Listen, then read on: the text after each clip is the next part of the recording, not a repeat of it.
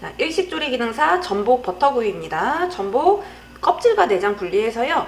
칼집 내갖고 한 입 크기로 썰어주시고 내장은 모래주머니 제거하고 내장만 데쳐 사용하시면 됩니다. 이런 거는 그냥 네모나게 전복과 비슷한 크기로 썰어주시고 그 다음 은행은 볶아도 되고요. 데치셔도 됩니다. 자, 야, 야채부터 한번 썰어볼게요. 사이즈는 일단은 제가 전복을 아직 안 썰었는데 비슷한 크기로 써는 게 좋아요. 해보면 거의 3cm 정도 나와요. 뭐 크면 4cm도 나올 수 있어요. 그래서 조금 지저분한 부분 있으면 살짝 이렇게 정리해 주시고 그다음에 약간 네모꼴로 직사각형도 괜찮아요. 약간 정사각형도 괜찮고 그래서 이런 식으로 네모난 모양으로 썰어주시면 되겠습니다. 자 피망하고 양파는 같은 크기로 썰으시면 돼요. 자, 양파는 앞뒤로 살짝 뾰족한 부분 정리해 주시고 그 다음에 전체를 크게 보세요 3등분을 할까 2등분을 할까 폐기율이 적도록 하는 것도 한 방법이거든요. 그 다음에 속도 만약에 이렇게 작으면 따로 썰어 주시고 어, 여기가 이렇게 이어져 있어요. 그러면은 저는 이런 식으로 최대한 양이 많이 나오게 덜 버리게 썰겠습니다. 여기는 3등분 정도 속하고 이렇게 사이즈가 다른 경우에는 나눠서 쓰실 수 있습니다. 그 다음에 투명한 막이 나오면 벗기지만 이런 걸 일부러 하나하나 제거할 필요가 없어요. 자, 시험 때는 깻잎이 보통 나오고요. 이건 시소인데요. 시소가 나온다면 여기 부분 끝에 잘라서 그냥 장식으로 쓰시면 됩니다. 자를 게 없어요. 자, 은행은 저는 볶을 거예요.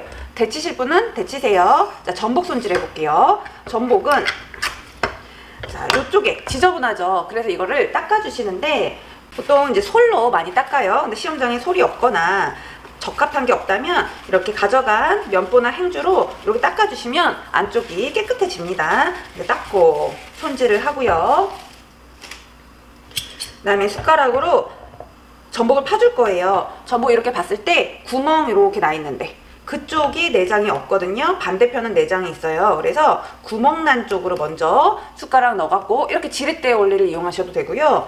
껍질에 바짝 붙여서 껍질이 안 다치게 조심하세요. 음, 붙어있는 부분을 딱 떨어뜨려 줍니다. 근데 너무 끝까지 힘을 주시면 내장이 터질 수 있으니까 끝에 가서는 살살 건드려 주세요. 그래서 이제 이렇게 조심히 빼볼게요.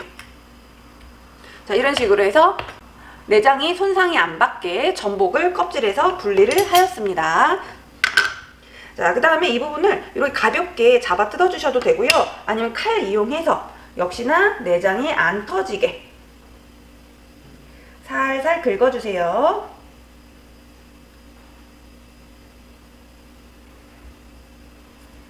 자, 그래서 내장과 전복을 이렇게 따로따로 나눠 놓습니다. 자 그리고 우리 모래주머니를 제거하라고 돼 있어요. 그 모래주머니는 어디 있냐면 자 이렇게 보시면 동그란 쪽 동그란 쪽에 뾰족한 부분 보이나요? 여기 요거 요게 모래주머니예요. 그래서 이 부분을 제거하고 사용하시면 됩니다.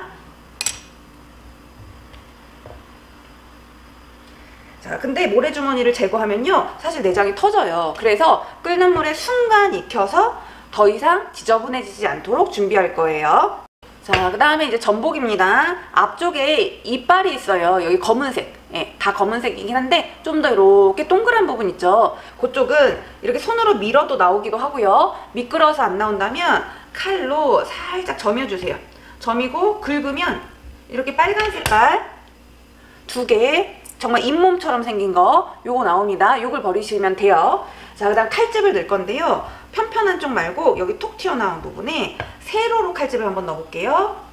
반 깊이로 약간 깊게 넣는데 안 잘라지게 조심하세요. 중간 부위는 조금 더 깊게 넣어주시고 미끄럽고 손이 갈 데가 없다 그러면 이렇게 돌려서 칼집을 비슷한 간격으로 넣어주시면 돼요. 자, 칼집 세로로 넣었고요. 그 다음에 가로로 반대 방향으로 썹니다. 일자로 말고 약간 어슷하게 회 뜨듯이요.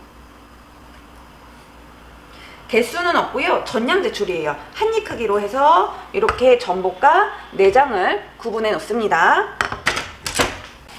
자, 물이 끓으면 전복 내장을 데칠 건데요. 비린내를 좀 제거하기 위해서는 청주 그리고 소금 이런 거는 약간 안 넣으셔도 크게 무방합니다. 자, 내장을 한번 데칠 거예요. 이렇게 팔팔 끓는 물에 넣어주세요. 그리고 내장이 제일 안 익어요. 그러니까 1분 정도 충분히 익혀주시는 게 좋고 볶을 때 막 익혀버리면 더 지저분하게 나올 수 있거든요. 이렇게 충분히 내장을 좀 끓여서 탱탱하게 좀 만들어 주세요. 자, 내장 다 데쳤습니다. 남은 열로 익도록 그냥 이렇게 두셔도 되고요. 좀 오래 데쳐졌거나 좀 지저분한 게 많으면 찬물로 한번 헹궈줍니다. 전복 버터구이 들어갑니다.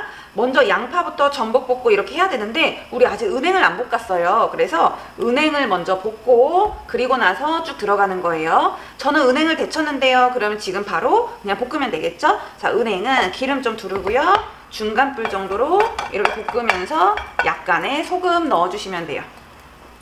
그 다음에 은행은 다 익으면 껍질이 좀 벗겨지고요. 뜨거울 때 껍질을 이렇게 벗기시는 게 잘 되니까 키친타월 하나 준비해 놓습니다.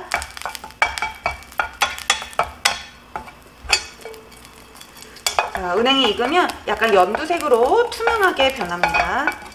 자, 요런 데 보면은 이렇게 껍질이 터지면서요. 속살이 좀 보이기 시작해요. 자, 그러면은 이제 꺼낼게요. 꺼내서 그냥 이렇게 뜨거울 때요. 키친타올에서 이렇게 비비면 바로 속살이 보이죠? 색깔 연두빛으로 이렇게 잘 나왔습니다.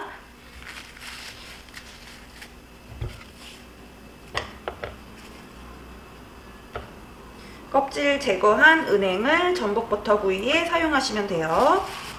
자, 가장 먼저 양파 볶아줍니다. 기름은 아주 많이는 안 두를 거예요. 나중에 버터 넣어야 되니까. 불은 중불 정도로 하겠습니다.